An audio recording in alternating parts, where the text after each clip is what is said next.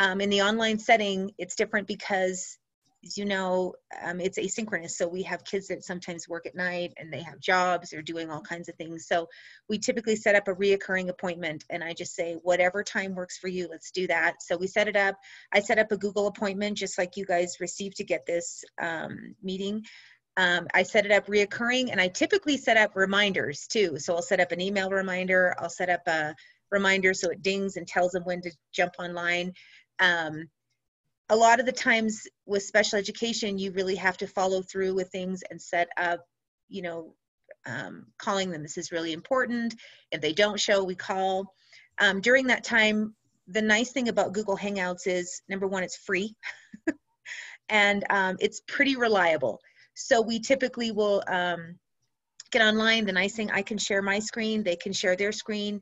Um, we typically integrate um, what they're working on in their courses to align with their IEP goals. So um, working on essays, working on reading content area, those kinds of things. Um, and we uh, work with them typically an hour a week, sometimes for students more. I would say on average it's about an hour a week, some students less depending on their need. Um, and we um, go ahead and just work on all those things there. Uh, make sure that they have their accommodations. We do a lot of our transition stuff during that time as well, um, teaching them self-advocacy, encouraging them to reach out to their students or their teachers on their own. Um, um, talking about, you know, careers and goals and all of the, that kind of stuff. And then as far as testing, Tammy, did you get to testing? Yeah, I did a little bit. Um, Okay. It's slide, and I did say that's going to be a little different for us right now until It we is. can actually get back out there. So if you listen to the stuff, the and I'll be talking about this in our SPED meeting next time, but um, there'll be some changes that we're going to have to work through until we can actually meet back face to face with our students again to get these assessments completed. Right. And then the one thing I was, I started to talk about when I realized that my microphone wasn't working was as far as accommodations, that's another area that as case managers, we do a lot of. Um, we make sure that the teachers have a copy of the accommodations and we actually have a little blip that we send them because we're on the quarter system. It's a little more difficult um, the teachers and, and it's online is that the teachers don't get to know the students like they would if they were sitting in their classroom you know in english or math or science or whatever it is so we always make sure that we have some very descriptive this student struggles in this area this is difficult for this student things that are kind of between the lines that you wouldn't see necessarily in the written iep but this just descriptive and we work a lot this i think would be appropriate for this student in your classroom or in this course, this is going to be difficult for them. Um, encourage them to do alternative assignments or just any of those things that would, you know, that we take for granted in, an, in a brick and mortar school where they're, you know, they're sitting there right there. Um, a lot of times we have kids, you know, with autism that have um, different areas that might be difficult for them. Um, ADHD is a big one. Those kids that have a hard time sitting down and, and working constantly, making sure that the teachers realize, you know, if there's a kid in your class and he's just staring at the wall, you can see that. But in an online school, you have to pay attention to other um, other factors that so you understand what's going on. And we work a lot with our gen ed teachers. The student's really struggling in this area. What can we do? Um, those kinds of things. Do you guys have any questions? So I do see we've got one hand raised. Oh, it just went away. Um, there was a hand raised from somebody who said Boise School District. If you still have your question, go ahead and um, you can put it out in the chat. Or if you raise your hand again, well, there it is. I will unmute you and go ahead and ask your question. Yeah, hi, this is Tracy Carlson from Boise School District. On the um, one-to-one services, do you meet for math a certain amount of time and then reading or just um, depending on what their need is throughout their IEP? Are you setting certain times for certain subjects, certain areas? Um, yes and no. So typically we have general service time where we meet with them and we'll work on their IEP goals. Now, I teach um, I teach an essentials math class and I teach an essentials science class. And so in addition to that, I have online, I have office hours where the students are encouraged, they don't always come, they're encouraged to come and get support in those specific areas in addition to the one-on-one time. So they'll get that dedicated, this is what we're doing this week in math. and they'll get the support that they need in that. The other thing that I didn't point out is um, because we use Google, we have the Google chat too. So students that are struggling, they can message me and get an instant message. They'll be like, hey, Gail, I'm really struggling in this math problem. I don't understand it. Do you have some time to catch up with me? And it's just like them coming to your desk or raising their hand. And I'll say, yeah, I I I'm with another student right now, but I can see you in an hour or I can see you tomorrow morning or whatever I have time. The nice then, thing about um, that is, what's that? Well, and then what do you do when they don't show up or they're not participating or um, you're not able to reach their IEP goals? That's a good question because that is a huge problem in online school, and I've been doing this for about 16 years, uh, 17 years, long time. Um, you follow up and you document it. So um, if they don't show up, there's usually a text or a phone call or a message, hey, where are you? And we typically will reschedule that time. You didn't show up for this time, so we need to catch up on Friday.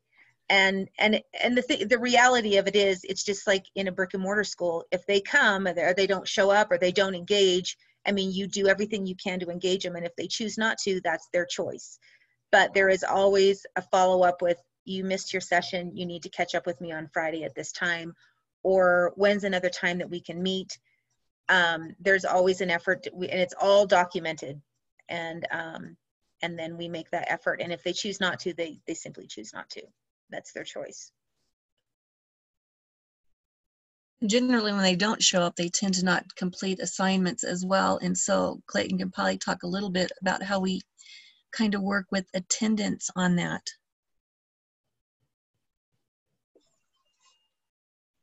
Well, I would only mention that if someone was asking me. I was I was thinking mainly special ed stuff. Well, and I think this is this is my understanding. This is kind of my experience with all of this is um is really building relationships and you might think that that's a difficult thing to do online but it's actually not and that's typically one of the things that we do the first week is I'll spend that first few minutes when I call them on the phone or when I talk to them, what are you interested in? And and make them, you know, if that time that they're coming to me is valuable for them and their grades are helping, that's the reason they're going to come back. And um, so we spend a lot of time really building those relationships with students and with the families. And we get a lot of support from parents going, hey, you need to be there. Uh, you know, we're dealing with teenagers, so um, getting the support of parents to make them come is important as well. All right, thank you. So we're going to, and just to, so everybody's aware, I started the recording a little bit late. Um, so we missed that first part that I did kind of showing our content. So I'll do that again at the end just so everybody has that on the recording who didn't get to see it um, right at the beginning. But we're gonna move now into our question answer period. And I wanna introduce kind of everybody who maybe you haven't heard from yet. And um, kind of appreciate all the hosts for being here, everybody for being in this meeting. Um, we're up to 145 participants, 146, which is way more than I was expecting. So thank you all for being here. I'm just going to go down the list here of the co-hosts as they're listed in um, the Zoom participants list. So we've got Clayton from iSucceed Virtual. We've got Charlie from the SDE, Jolene from IDLA, Katie from iSucceed, Mont, who is with IDLA, Rebecca Willis with IDLA, Tammy with iSucceed, and Gayla Jones, who I may make you a co-host now that you jumped back in, are all here to um, kind of help as best we can um, and provide any support, suggestions, ideas, and in general for you guys as the audience here to also jump in with suggestions, thoughts, ideas. So if you've got a question you'd like to hear somebody answer or discuss, please put it down there in the chat or raise your hand and we'll get you unmuted so you can ask that while we're waiting for the first couple of questions, um, I will um, point out in the chat, Katie added two great uh, points in there, um, things that they do. So you can see uh, actually three there if you scroll up a little bit. Um, about tracking communications, using your Google Apps is a huge, if you've got Google Apps for education, or if you've got the Microsoft Teams apps, you can actually have all those logged, recorded, and archived. So you have a history of anything that was kind of said in those sessions, or you want to um, look back at emails that have been archived or chats or anything like that. So that's a great tool and suggestion Also using Adobe Sign to actually make sure the IEPs are signed. Those are um, sh should be fully legal to have signed um, that way. And then down below, you can see um, that last point that she made there. So I saw a hand come up and then it went away. So again, if you do have a question, go ahead and raise the hand and we will get you unmuted. So I'm gonna go ahead and unmute the first. So go ahead, Jocelyn. So I wasn't able to add anything to chat because it says I'm disabled. So um, my I joined late. Is this being recorded so that we could watch it later? And will you share the link? Yes, so it will be, it is being recorded right now. Um, again, I, I started the recording a little bit late, so I'm gonna redo my part at the beginning right at the end. So those who um, didn't get that will get it. So definitely being recorded and I just fixed the chat. So everybody can chat now if they have um, something they wanna throw in there.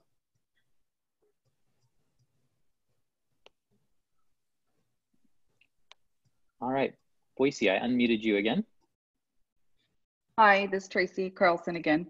Uh, so on the elementary students that we're, we might be providing online instruction to, um, what do those minutes look like typically for virtual online? What, you know, 30 to 45 minutes brick and mortar, but what does that correlate to in the virtual online world? Gail, do you want to talk to that? That, that's actually a good question. We are a high school, but I can answer that because I, I have done elementary online as well. Okay. Um, and, and typically, obviously an hour long for an elementary student is a little bit longer. So depending on the age level, it's usually around 30 minutes. Um, Once a week might- or every day? yeah, once a Okay. week. What you may do, what what I've done in the past with elementary students is break it up and meet twice a week. So I might do 30 minutes on Tuesday and 30 minutes on Thursday, or 30 minutes on Monday and Wednesday, or whatever it is, and then um, provide. And it looks a little different in elementary just because you're working on specific goals i think more in elementary and in high school you're kind of more integrating those goals into the courses because they, they're earning credits now so you're kind of kind of integrating all of that so um, with elementary i in the past i've used all kinds of like the google apps and we read books online and we do the, all those kinds of things. Um, we might do worksheets online. We might have a lot of interaction those kinds of things um, in place of that. But i would i would definitely split it up. That's a long time an hour for an elementary student. A long time. All right, we have some questions in the chat, so I'll go ahead and get to those. So the first one I see there is IDLA courses need supports for students with disabilities when used in the school setting. Students need to need support usually with small group or one-on-one to complete. So yes, if, if the support that the student needs is one-on-one or small group, um, our content won't necessarily solve that issue. Um, if the students need supports like an extended time or screen readers or adaptations, um, colors, things like that, all those accessibility features we have in there. Um, it doesn't solve the need for a, a person that may be able need to help live, um, but there are some modifications you can do with that, including um, spinning up Google Meets to do one-on-ones to help the student through, especially if you've got paraprofessionals that are untasked at this time, that may usually be the ones providing those supports. You could have them do live meets or Teams um, with, or Zoom even, uh, to talk to those students, um, work with them, do screen sharing, kind of provide those one-on-one group supports. And then from our panelists here, does anybody have anything to add to that?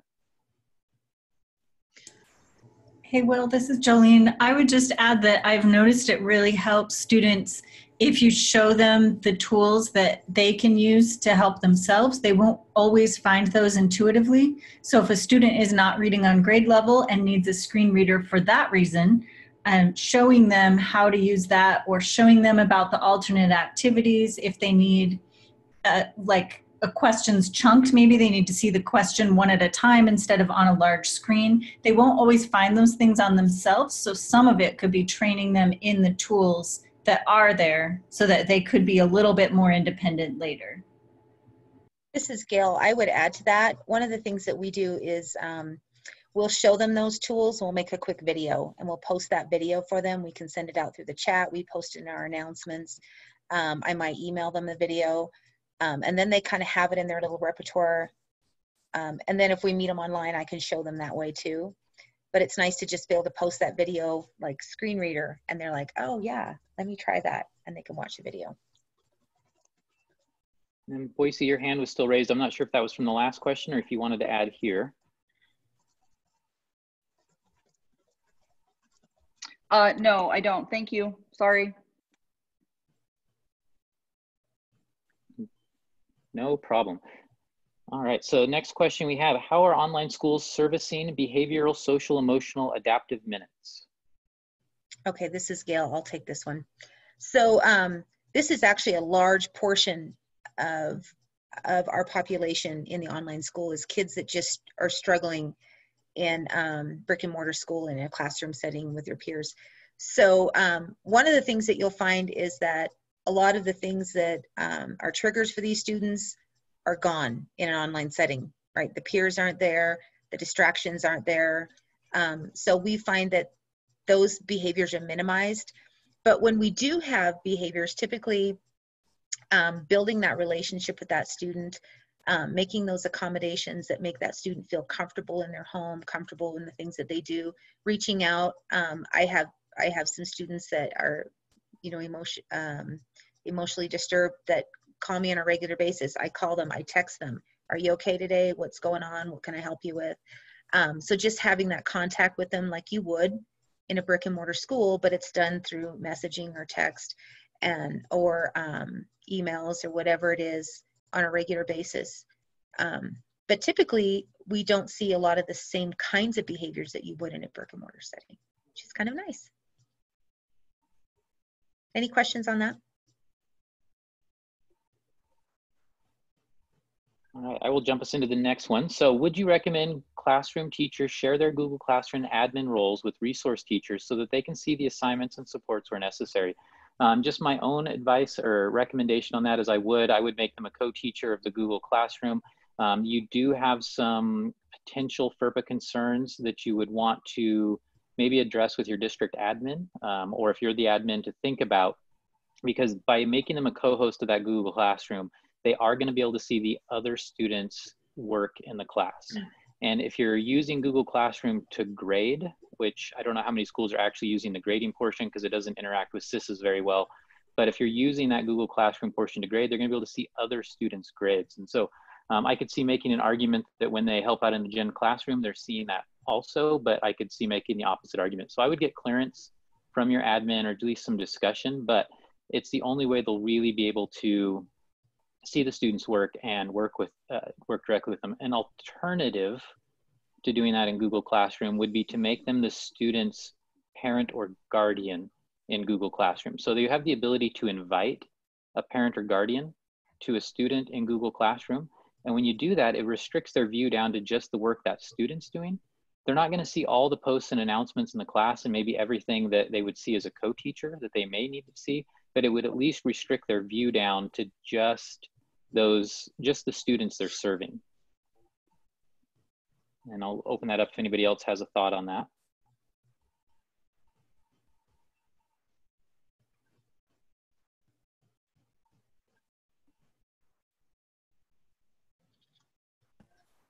All right, next question. Bill, this is Clayton. I was going to answer that. If they're when, when you're doing a one-on-one support, if the student is screen sharing, you are going to see their screen and you're going to see everything that they see, and then that avoids the FERPA problems because then you're not seeing anything that anyone else of anyone else is just theirs. And then Boise, you wanted to add? Uh, hi, this is Tracy again. Um, I asked the same question yesterday in a um, webinar with the state because my concern was the confidentiality piece for students, um, parents and students seeing other um, special ed students in the Google Classroom. But from what I took away from the answer to that, and I believe they have it in writing, is that um, we're not producing an educational record. And so it's not breaking the confidentiality piece. Um, but I'm waiting for the, the written portion to come out, but that should be um, distributed to all of us soon. Thank you. And Charlie, did you have anything Will? you wanted to add on that? Yeah. Yeah, Will, can you hear me? Yes, we can. Oh, perfect. Tracy, nice job. Uh, um, I'm glad you were participated yesterday and your takeaway was spot on. Uh, Thanks, Charlie. And as we and as we discussed yesterday in the webinar, and I believe Elaine even gave the example of, uh, you know, when uh, a a person comes in and observes uh, a classroom. Um, so you are correct, and yes, we are going to have that written response um, probably by tomorrow, um, and we will share that, um, you know, the the most recent Q and A when we um, uh, have our next webinar. And, and that's about it, Will. I mean, we covered it yesterday and we'll again put it in, in writing here in the next day or so.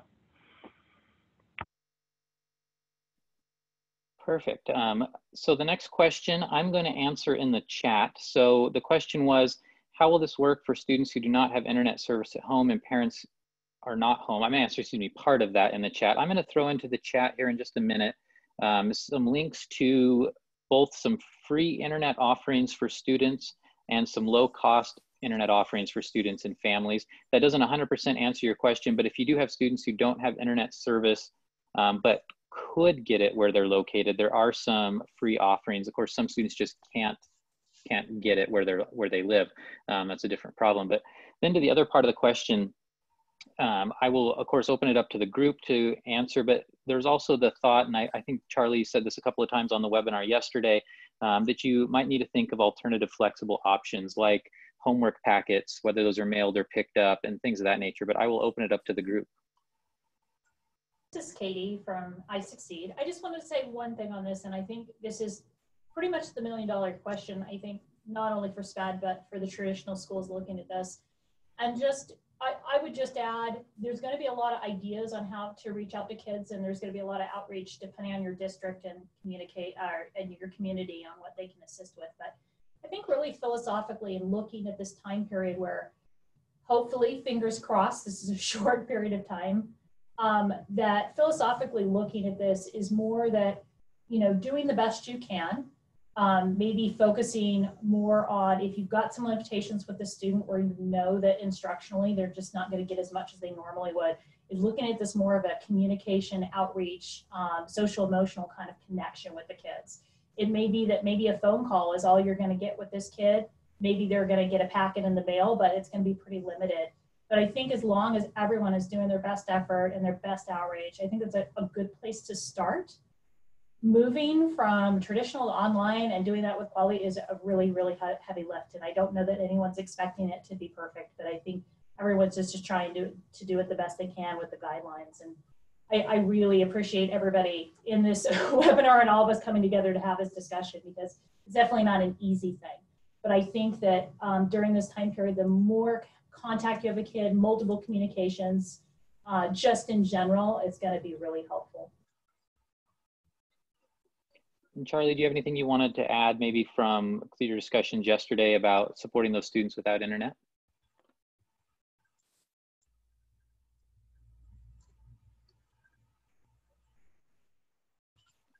Put Charlie on the spot here.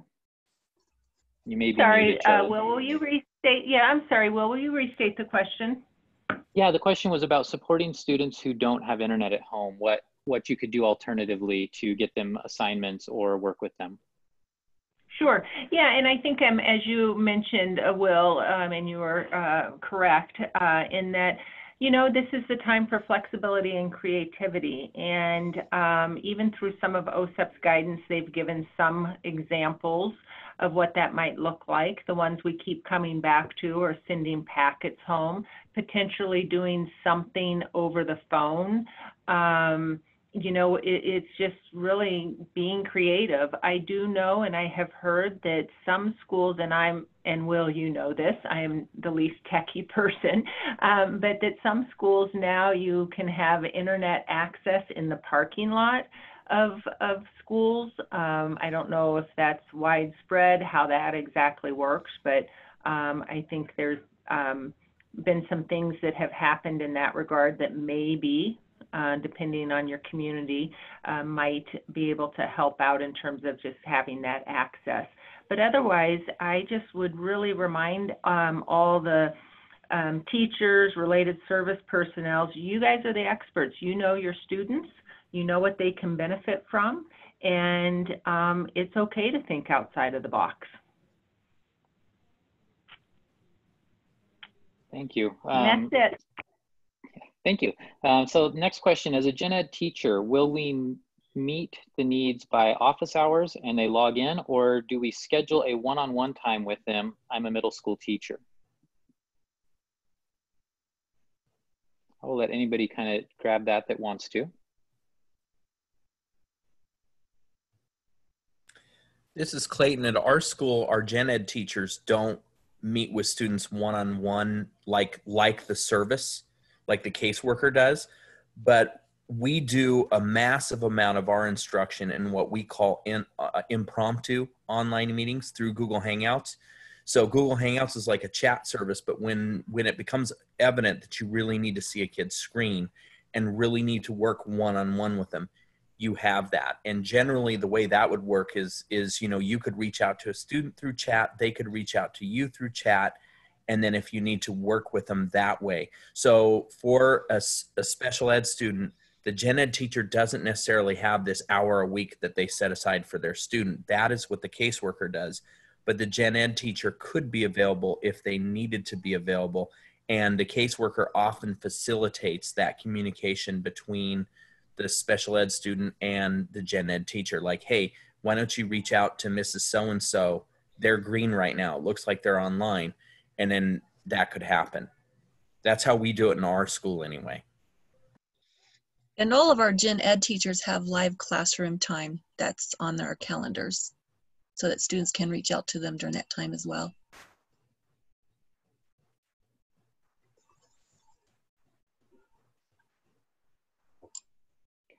All right, next one was a comment um, about that that's how Inspire does it as well, um, once a week with 30, 45 minutes and a case manager um, that works with gen ed teachers.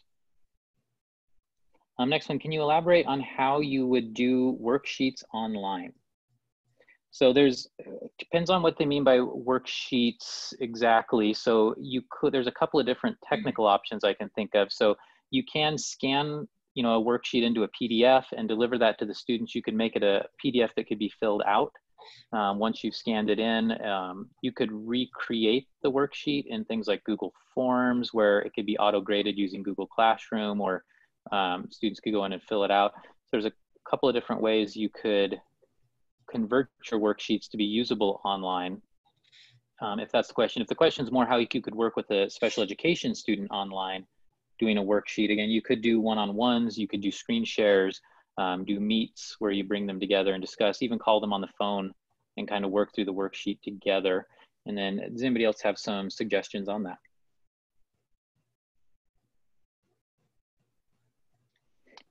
Will, uh, this is Katie. I just put a um, link to a resource just if uh, anybody was interested and they had a Google Doc they wanted to convert to a form. I just uh, put in a YouTube link on how to do that. Oh, perfect. I want to do a quick mic check for Rebecca. Rebecca, are you able to speak?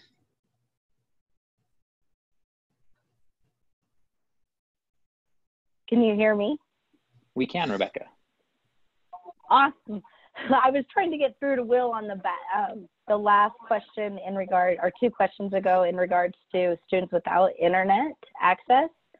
Um, I'm also a special education director for Wendell School District, and the majority of our kids do not have internet access. And so, one of the things that I have suggested to our special education teachers is to um, get comfortable on the phone, um, doing a lot of phone calls and actually doing assignments verbally, which a lot of our special education students, a lot of times, a verbal answer is much easier for them. Um, so I've, I've really asked our special education teachers to work with our general education teachers to figure out the best curriculum for them to accommodate. And then it might be using our our special ed teachers to have those phone conversations to complete some of those assignments. I know that works because as an IDLA teacher, um, I was um, with a specific school and a lot of the students weren't completing the assignments. so I would just set it up on a weekly basis where I would call in and I would spend probably 20 to 30 minutes with each student individually going over the, the assignments. And if the assignments, um, if I came to a question or something that they didn't understand, I would just rephrase it or really pick out the key ideas for the students and get them to expand on the answer. Um, and that worked very, very well for, for those kids um, that I worked with with IDLA. And again, I'm going to apologize my voice. I've, I've lost it the last couple of days. So sorry, I hope you can hear me. So. We can, came through loud and clear. Thank you. Um, the next question is, what is the site to rewatch this? So I just pulled it up on the screen share here and I'm dropping it into the chat as a link. Oops, sorry, that went just to Rebecca. Let me drop it in for everybody. Chat and the link. So all of our webinars that we are doing, we are archiving right here on our eDay support page, which I just put over there in the chat. And you can see, for example, we have three web uh, archives down here right now. Um, this archive will get added right to this list along with several of the other ones that we've got coming up over the coming days. So it'll all be dropped in right there. Um, next one, what kind of training do special ed teachers get on the technology supports? I'm not sure my teachers would know how to find those types of tech supports for students uh, you're talking about. So there's a couple of different options and Charlie and everybody else might have some more. But the Idaho School for the Deaf and the Blind, I know does some trainings and supports that they can help depending on, of course, the student's needs. Um, when I worked in Mountain Home um, as the technology director there, we provided training to our SPED teachers on how they could use various supports or we brought in experts in those supports. Um, and then I'll open it up for anybody to say how they train their special education teachers on using technology. Um, uh, sorry, Will, this is Charlie again. Yes, um, IESDB is a, a resource uh, that I mentioned yesterday, but also don't forget that you have the assistive technology um, project, and those folks are willing and ready to assist any way they can. In addition to that, um, we have SESTA, so that's another excellent resources. And all of the resources that I've mentioned uh, are statewide. So they are available to the entire state. And then uh, you know, for those districts, maybe larger districts, of course, working closely with your IT folks and experts within your district. Uh, but, you know, AT Project, IESDB, SESTA, uh, those are some really good resources as well. And this is Jolene, and the other two webinars that Will was showing there do include training. So if you wanted your teachers to attend training for how to use Google Classroom or how to use Google Hangouts, those are both included in those webinars. So if the teachers need that, there's not a special education focus, but it is tool focused. So if the teachers need to know how to use those two free tools, um, they can find it there at those webinars.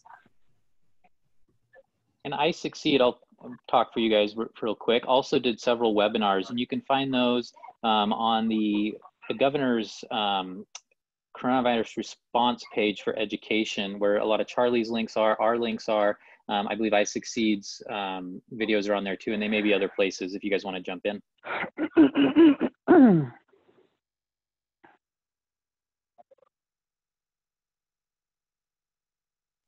I went and linked some of our content in the last couple slides of that uh, how to do special education presentation. So that's all there too. And awesome. it's got links. Awesome, thank you. Um, next question um, may be out of date at this point, but I'll ask anyways. Um, it was Charlie, could you please weigh in on using Google Classroom with special education students?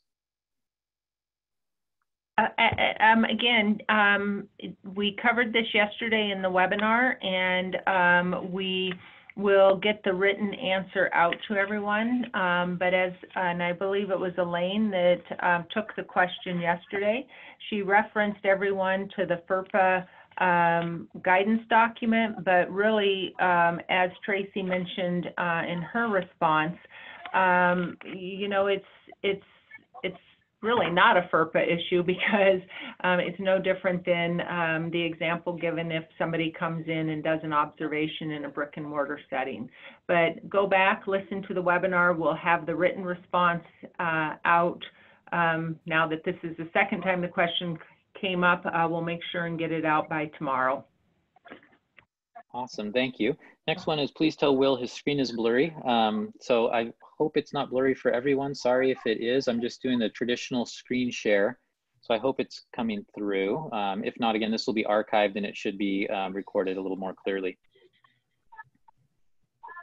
I'm going to find the next question. Um, the next one was please contact us and we can oh connect you with so if you contact they can connect you with DHH and BVI students. Next one is what is the recommendation for students who are nonverbal, severe and profound to meet their goals? And I will leave that up to the group um, on how those students could be supported either face-to-face -face in small groups or online.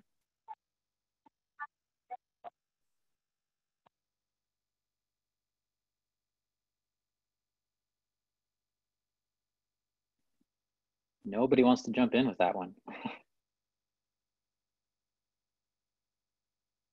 um, I will throw out what I would have thought about when I was a building principal. Um, Charlie, definitely jump in with anything I'm saying wrong here. Um, but as a building principal, um, what I would have been looking at right now um, would have been the possibility of bringing the severe and profound students in in very small groups, maintaining social distancing um, the best you could. Obviously, some students need very direct contact um, but keeping track of you know no more than 10 students in an area or 10 students plus adults total in an area. So it might be you know five students and three adults or whatever the, the thing is. And i would have looked at potentially busing those students in and, and holding a more traditional school with my severe and profound students just because i don't think there is a way to do it online um, with some of those students uh, to provide the supports they need. So that's what i would have been considering. Um, i don't know that it's the correct answer but that's what i would have done. Or yeah.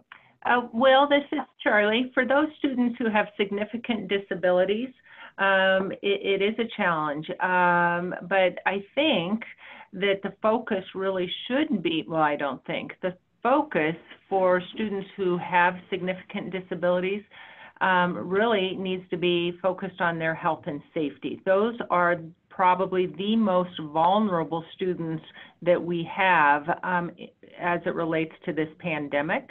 So I would be very, very cautious uh, in how you provide education just because you don't want to inadvertently put um, a child who with significant disabilities that is already at risk um, in any further, um, you know, we don't want to put them in harm's way that doesn't answer the question about online. Online, and it's case by case. Um, I'm trying to think of when that might be appropriate, and quite honestly, I can't think of a time um, in all my years in special education where a student with significant disabilities could benefit from online. Um, but, you know, it's case by case. I think uh, this is when you do have to get creative and maybe packets really aren't even really appropriate. Um, it may be one of those situations, again, case by case, that uh, when all of this is, um, when we have moved past this, um, where you really have to look at that compensatory services uh, down down the road. Hopefully that helps. If I can jump in for just half a sec, hopefully you can hear me. This is Julian down at Bonneville School District. What we're doing for those kiddos is uh, instructing our teachers to do, right now it's a mix of individualized sort of um, uh, pre-recorded or live um, Google Classroom uh, lessons, uh, some packetized instruction, and then we're also instituting for people that have aides, uh, uh, call a BI, call a BCBA, call a social worker. So we're putting our, our people that normally would be in a consultative status, providing parents the ability to call those folks to have um, some uh, direct contact if they have emergencies at home where they need some help. And then, like Charlie said, we've already started to budget the fact that we don't see any way when this is over to avoid um, potentially a multiple month uh, summer school of some sort. Well, this is Charlie again. Uh, as I'm watching the chat box, there's some really good suggestions that are uh, coming in. The one I uh, really like is the idea of the videos um, providing the videos and um, of how they would do things if they were in the brick and mortar. Um, so um, this is a great uh, example of how folks in the field uh, truly are the experts and and they um, you know know their students and know how to best meet their needs. So kudos to everybody out there giving the great suggestions. Yeah, awesome. Thank you. That's what we were hoping to get out of this was a lot of community sharing. So great advice from everybody. Jonathan, I just unmuted you because you had your hand raised if you wanted to add. Oh, hello. Um, right now, I am trying to take what were on PDF files from like Common Core worksheets. I think it's just Common Core Sheets um, .com, and I am taking them and putting them into Google Docs using tables. So, like one side of the tables, I might have the questions. Then I might put tables right next to them with the um, with answer boxes, so that um, they can edit their answer boxes and fill in um, the correct answers. And then they can just share that with me um, via Google Docs. And doing it with the um, boxes like I'm doing makes it to where they can do everything with a cell phone or a smartphone and um, just share it right back with me. I'm also using a uh, website of my own for uh, showing videos on how to do the math that they fill into each box.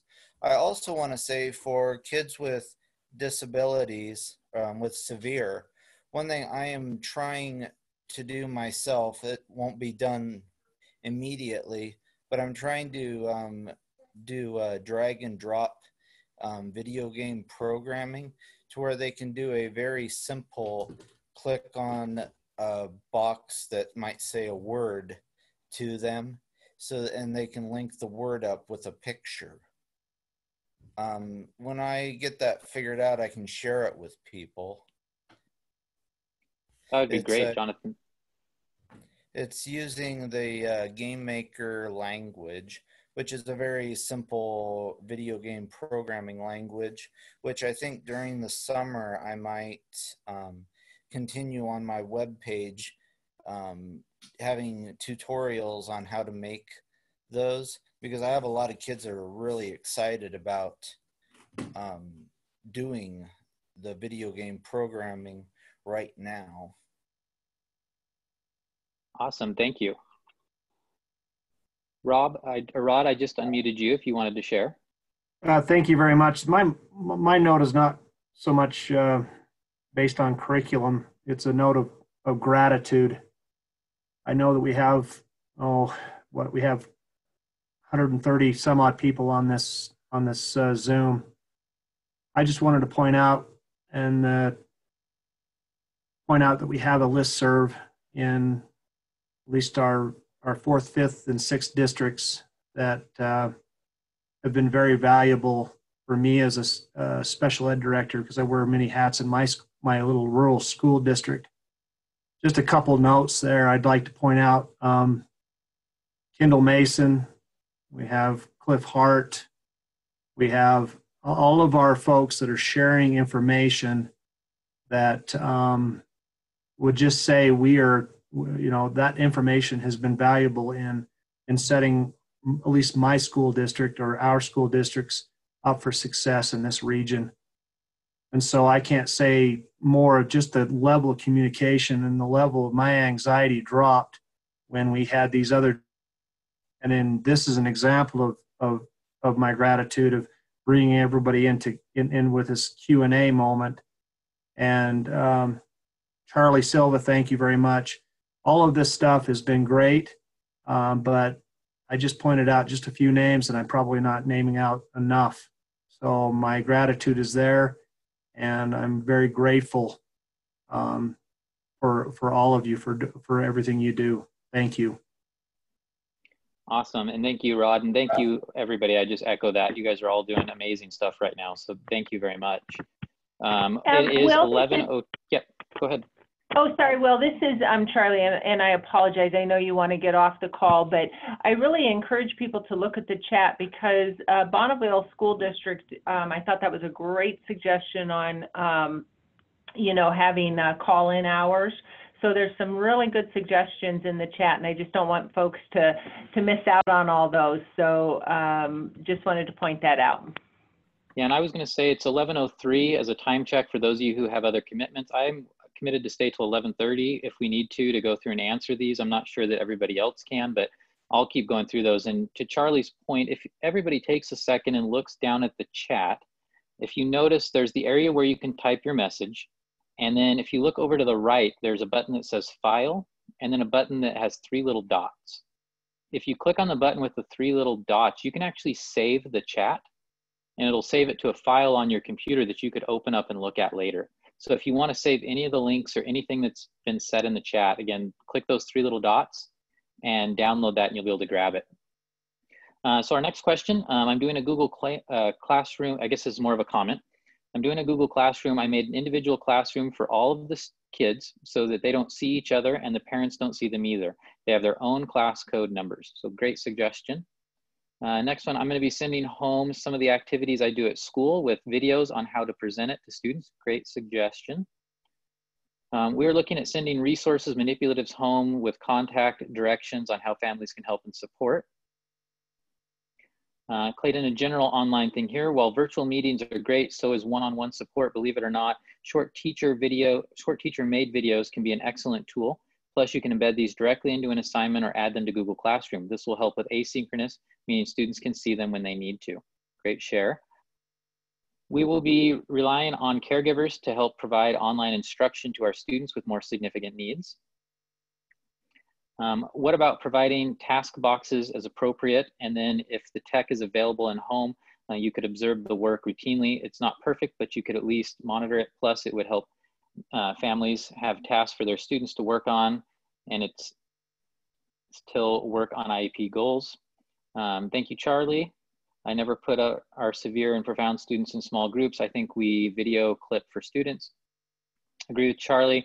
For the online serve and profound, severe and profound, I've seen several districts not in Idaho provide instructions on how to do task box with common supplies online. Uh, next one for severe and profound, it might just be the teacher taking the time to do a hangout with the family and have the teacher read a story to the students just face-to-face time with the teacher might be best for those students. For IEPs, should we be amending these to adjust how service is being delivered as well as adjustments of minutes during time?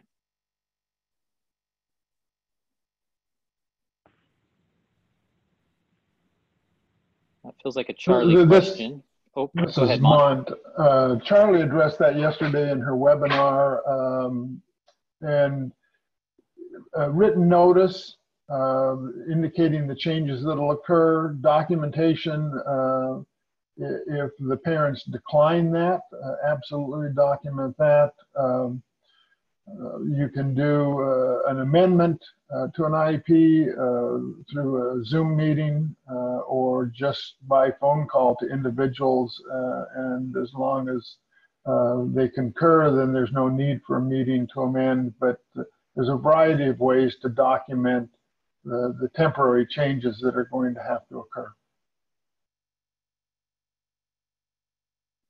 Very well done, Mont. Thank you. um, I'm skimming through the chat in the interest of time and just looking for questions. Um, sorry if I missed your question. I'm just looking for those um, and then everybody else can read through for the comments and suggestions.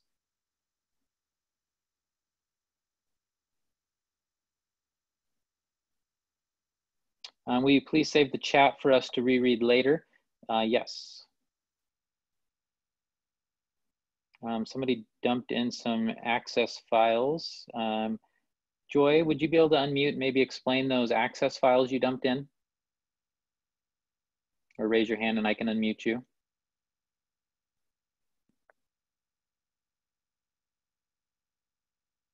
Um, no offense to Joy, um, but just from a former tech director lens, database files are really vulnerable to viruses. So um, not knowing what are in those, I would be very, very hesitant to download and open those. Um, fact, most email programs by default just block database files from being emailed because they can contain so many dangers. So without Joy's kind of explanation of those, I, I wouldn't recommend anybody click on those.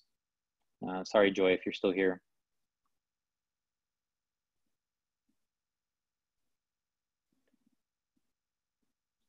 Oh, and then you can see right below the comment that you need permission to download the files. Zoom might also be blocking those again because of the, the risk of those types of files. Um, next comment was on Flipgrid for phones is a great student app. So I think I've hit the bottom of the chat window. Um, so I will pause for a second to see if anybody has any more questions um, from raising the hand or anything like that. And then I'm going to jump back into my initial start of this, showing you our resources again for anybody who missed it and to make sure it's on the video. And then iSucceed, I was able to get the chat, the video recording about halfway through yours. So if you wanted to redo yours, especially now that everybody has audio, um, you could also add that onto the end so everybody hears it. So I don't see another question popping up, so I'm gonna jump right into that. So I have shared in the chat a link to our eDay services overview. This is a Google Doc that contains everything that IDLA is doing right now. This is a work working doc. So as we add services, we're adding to this document. So it's a great one to have um, bookmarked to come back and review later. But I do want to point out a couple of things on that. One is our eDay website, which you can see linked here.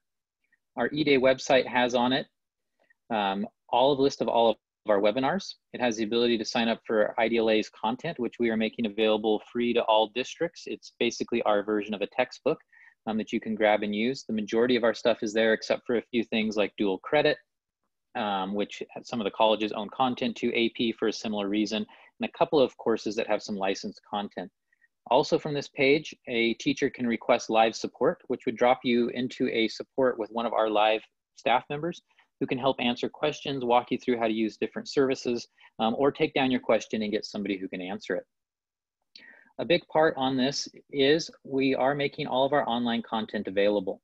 Again, so um, just to point out for this group, our online content has accessibility features built in, like screen readers, alt tags for images, audio and video transcripts, closed captioning, alternative activities for students who can't use keyboards, and so on, are built right into our courses.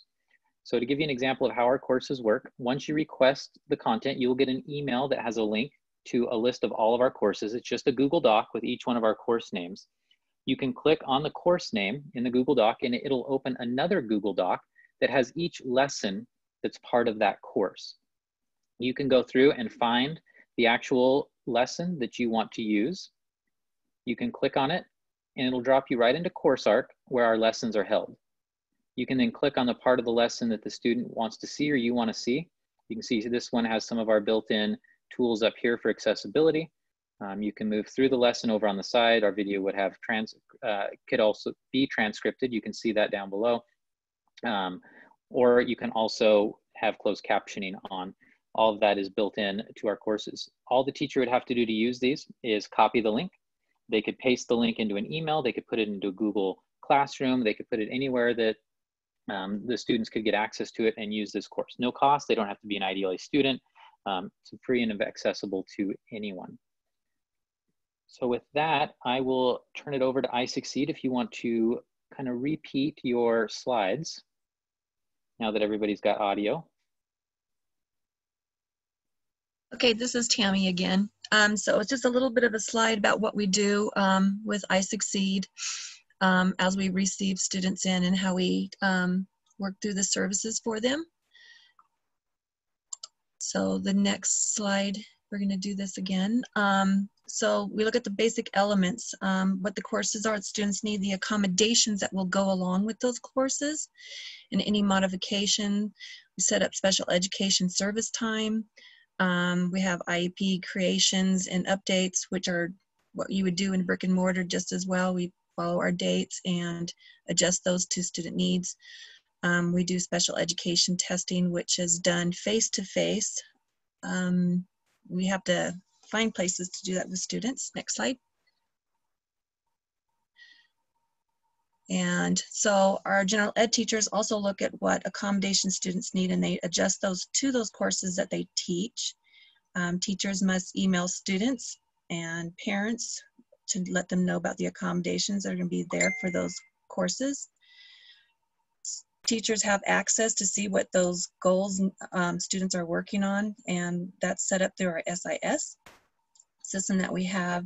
We do have essential courses so that if the general ed courses are just too um, tough for students, we have those set up for kids if it meets their needs. Next slide. Service time, of course, that depends on student needs. Sometimes students meet with their caseworker maybe only 30 minutes a week. Um, sometimes it's 60 minutes a week. Students are encouraged to um, instant message their teacher at different times. Caseworkers create um, calendar events um, for links for students. Um, and often kids um, will contact our caseworker and do a Google Hangout for instant communication. And so our case managers help students with their special ed courses and their general ed courses through those service times. Next one. And I'm not sure if Gail is still online. Caseworkers work with the students and parents pick times that work for them. And then those are placed on a calendar so that students and um, teachers get reminders when the teachers and students meet up for that one-on-one -on -one time. Um, Yes, and so we do complete our IEP meetings, eligibility meetings online, and then we work through those, make changes as we need to, and when everything is complete, we send those out for Adobe Sign so that we have signatures on those. Also on our SIS system, parents are able to go in and view IEPs um, and documents at any time. Next one. Yes, in our special ed teaching for all those types of things. We have to set up a time and a place to meet those students. At this time, it's going to be a little bit more difficult um, because of not being able to meet time um, one on one. So we will be working through our written notices and may have to do those um, complete reevaluations at a later time.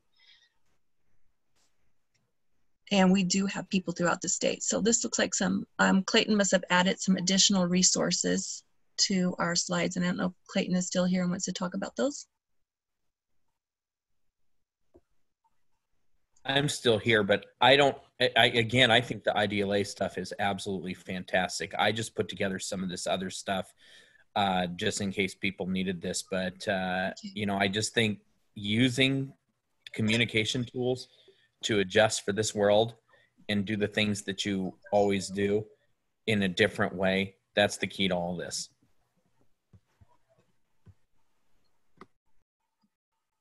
Thank you, and thank you for repeating um, the presentation. Wanted to make sure we got all of that in the video for everyone. So with that, um, I didn't see any more questions come in, so thank you all for attending. Sorry that we're 15 minutes over. Um, for those who were planning to attend the state superintendent's webinar that was at one o'clock today, that has been rescheduled for noon, just as an awareness factor for everybody on here, um, if you were planning to attend that.